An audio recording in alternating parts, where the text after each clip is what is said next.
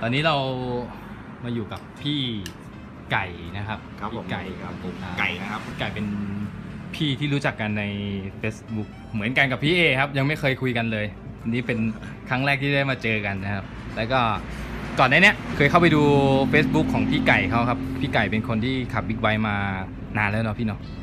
ก็ประมาณสักสามสี่ปีได้สามสี่ปีก็ ครับ จุดน่าสนใจของพี่คนนี้คือเออ พี่แกขับรถมาแล้วทั้งหมด3ถ้า3เป็นถ้าเป็นของตัวเองอะสามรุ่นครับสามรุ่นครับ สามรุ่นทั้งหมด 3 รุ่น ซึ่งก่อนหน้านี้ก็มีอีกใช่ไหมก่อนหน้านี้จะเป็นของของพี่ๆครับคขรัอบ งพี่ๆที่รู้จักกันก็คือประสบการณ์ขับรถบิ๊กไบค์ก็คิดว่าพอสมควรครับ ก็สามารถให้ข้อมูลได้ แล้วก็จุดน่าสนใจของวิดีโอคลิปนี้คืออ่าจะมีรถบิ๊กไบค์สาย touring ครับอ่าตัว น่าจะน่าจะตัวท็อปของ Honda แล้วมั้งครับเป็นตัวท็อปของเป็น Honda เป็นไม่ใช่ตัวท็อปสิเพราะตัวท็อปทำไม มันจะมีอีกตัวหนึงพันสองไหม ใช่ใช่ครับตัวพันสองตัวนี้ก็เป็นตัวที่น่าสนใจน่าสนใจครับ ใช่สำหรับสาย touring ครับ ตัวคลาสพันใช่ครับใช่โอเคครับห้ามพลาดเลยครับ พี่ไก่เริ่มต้นขับรถมาประมาณ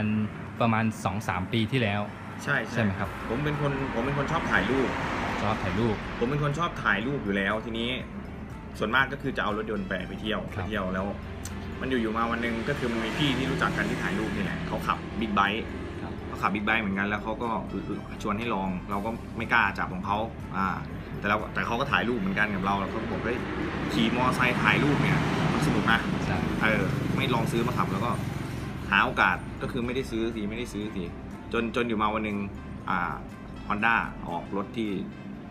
รู้ว่าเอ้ยดูแล้วมันน่าจะโอเคอะ เราเราชอบเราเห็นแล้วเราชอบอ่าของของคาวาซากิเขาก็ออกมาก่อนหน้านี้อ่าแต่ คือบิ๊กไบค์ในช่วงนั้นจะมีคาวาซากิครับที่ที่ที่ จะดังกว่าใช่ครับเนอะที่ตีตลาดจะครับ เออจะออกมาก่อนก็จะเป็นพวก ER ER 6N ครับใช่สวยมากเลยตอนนั้นแรกตอนผมดูแรก ๆ ตอนนั้นดูบิ๊กไบค์คันแรก ๆ ก็คือจะเป็น ER ครับ ก็จะมีแค่แค่ ER นี่แหละที่ที่คนเขาซื้อขี่กันเยอะมากเลย ใช่ ผมก็เลยเฮ้ยมันเกลือนว่ะ แล้วทีนี้มันมีข่าวออกมาปีหนึ่งก็คือ Honda ให้จองให้จองนี่แหละ เป็นตัว CB 650ครับ แล้วมีสีเหลืองสีเหลือง ด้วยเป็นเป็นสีที่ตัวเองชอบอยู่แล้ว ชอบสีเหลือง ชอบสีเหลืองใช่มากใช่ใช่ใช่คือเท่าเท่าที่สังเกตใน Facebook รถ3คันทั้งหมดครับเป็นสีเหลืองหมดเลยครับ โอเค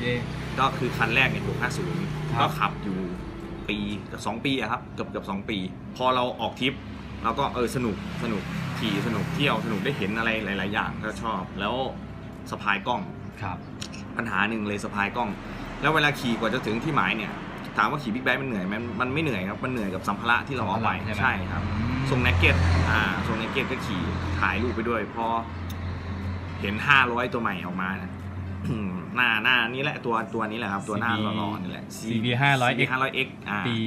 2016 16 ตัวปลายปลายๆปีครับก็เลยอยากจะเปลี่ยนอืมมาขับ 500 แล้วก็ซื้อกล่องซื้ออะไรติดนี่แหละครับ ก็คือให้มันเดินทางสะดวกขึ้น อ๋อ แล้วผมก็ผมก็เพิ่งมีแฟนด้วย แล้วก็อยากให้เขานั่งสบาย ใช่อ่า ก็เลยเปลี่ยนมาขี่เป็นเป็นทัวริงครับ ขี่500 ได้ประมาณปีปีหนึ่งปีกว่าๆปีหนึเดี๋ยวง เดี๋ยวเดี๋ยวอย่าเพิ่งไปอย่าเพิ่งไปครับ ตอนตอนขับตัว500นี่คืออาการเป็นยังไงมัน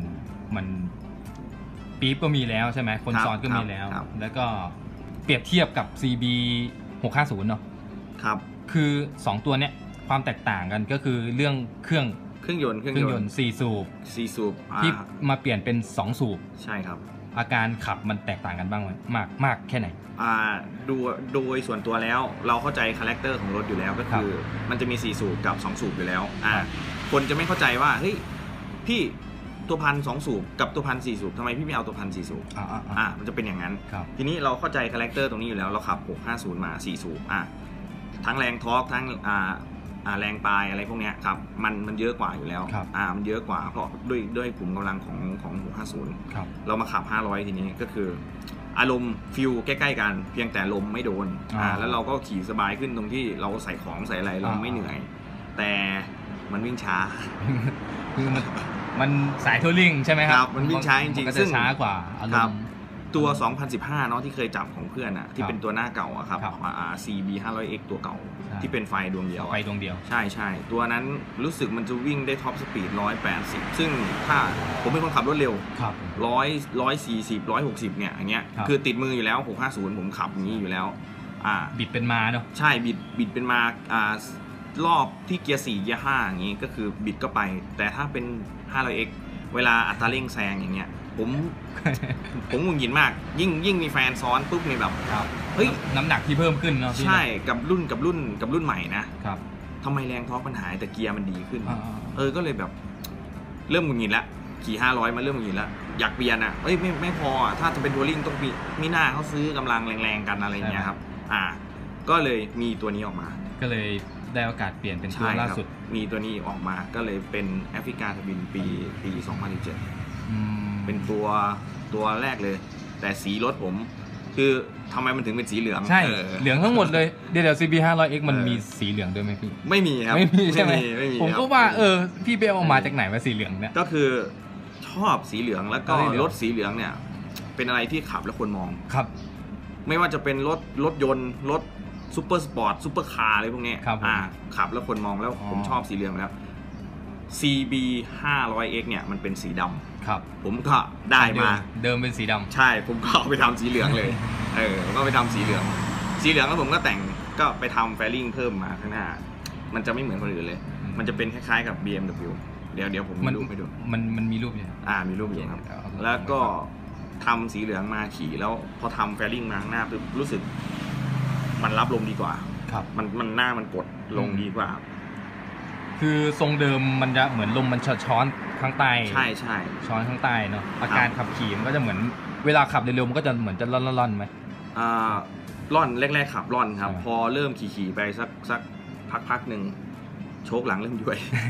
อันนี้เรื่องจริงเลยเพราะถ้าขนหนักผมเป็นคนขนหนักมากเพราะอุปกรณ์กล้องผมอย่างน้อยก็เกือบเกือบยี่สิบโลละครับอ่าไหนจะเสื้อผ้าอีกครับอืมผมเป็นคนตัวใหญ่ด้วยอ่าอ่า ก็มาขับ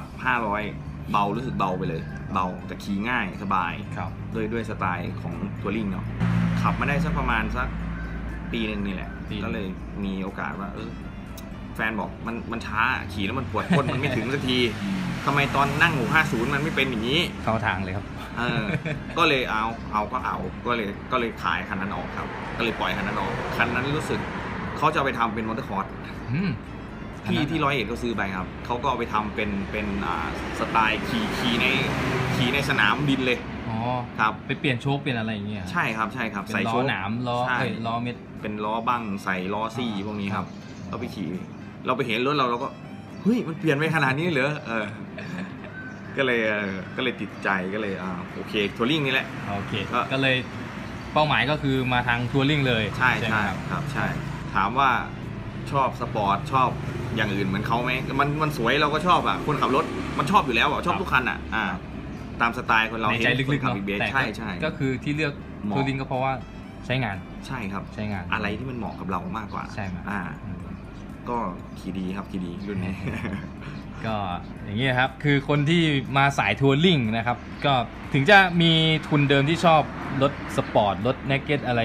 อย่างนี้อยู่แล้วครับ ดูรูปร่างหน้าตาที่มันสวยครับ แต่ถ้าเมื่อเราเอามาใช้งานจริงๆเนี่ยมันก็ต้องเป็นอะไรที่มันเหมาะกับตัวเองให้มากที่สุดใช่ไหมพี่ใช่ใช่ครับใช่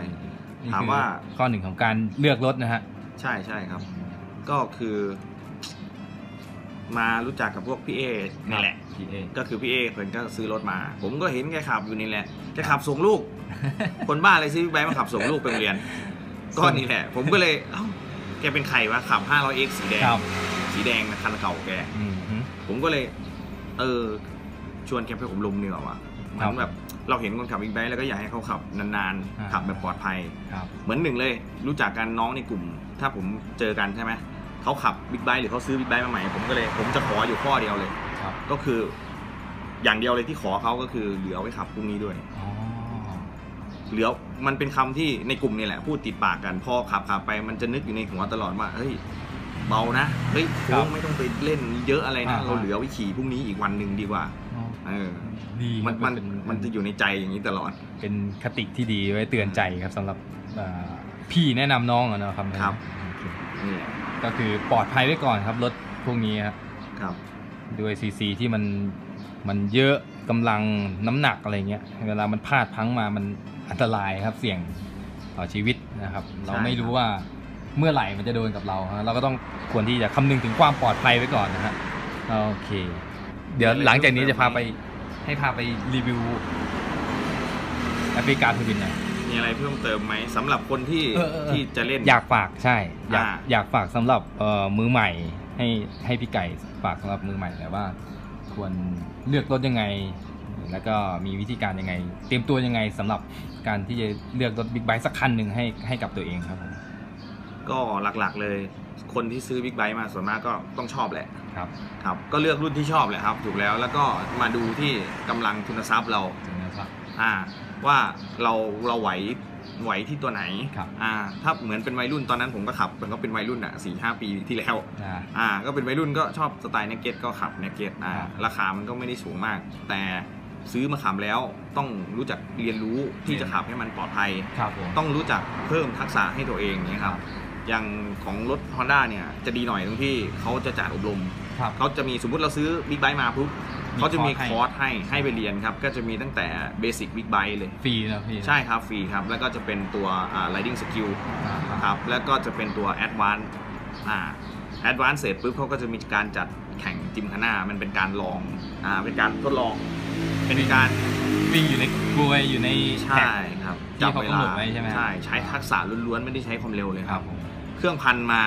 ก็ก็ไม่เกี่ยวครับไม่เกี่ยวร้อยห้าสิบชนะเครื่องพันก็มีถ้าแข่งใช่จิมคณะอย่างนี้ครับอ่าก็เป็นการเรียนรู้ทักษะทำให้เราเวลาเจออ่าเหตุการณ์ต่างๆ ที่มันแบบบางทีมันไม่คาดคิดเราใช้ทักษะไอ้ตรงนั้นอะครับเอาตัวรอดเอาตัวรอดได้ให้เราใช่เกิดความปลอดภัย ให้คนที่ขับขี่กับเราในกลุ่ม หรือว่าคนที่ซ้อนเราปลอดภัยมั่นใจขึ้นครับครับผมโอเค ตัวนี้แหละสำคัญครับโอเคขอบคุณมากครับสำหรับพี่ไก่นะครับ คือคนนี้ ขับรถมาเยอะแล้วก็อยู่ในกลุ่มบิ๊กไบค์มาพอสมควรนะครับ ก็อย่างที่พี่ไก่บอกว่าก็การเลือกรถนะครับสำหรับมือใหม่ที่กำลังจะมองหาบิ๊กไบค์สักคันหนึ่งนะก็ให้ดูรถที่ตัวเองชอบ แล้วก็ดูกำลังเงินของตัวเองกำลังทรัพย์ตัวเองว่าไหวแค่ไหน แล้วก็ที่สำคัญคือทักษะนะครับการฝึกทักษะอบรมต่างๆ ทางที่จะมาจะมาขับบิ๊กไบค์เนี่ยฮะมันเป็นมีส่วนสำคัญในการ ขับขี่นะครับเพื่อของพวกเนี้ยเพื่อความปลอดภัยทั้งนั้นนะฮะจะทำให้เราขับรถได้อีกนานใช่ไหมพี่ใช่ครับได้ได้อีกนาน อยู่กับมันอีกนานนะครับใช่ครับผอยู่มอยู่อยู่ได้นานก็สนุกได้นานใช่ไหมครับผมอ่า ขับขับปลอดภัย โอเคขอบคุณครับ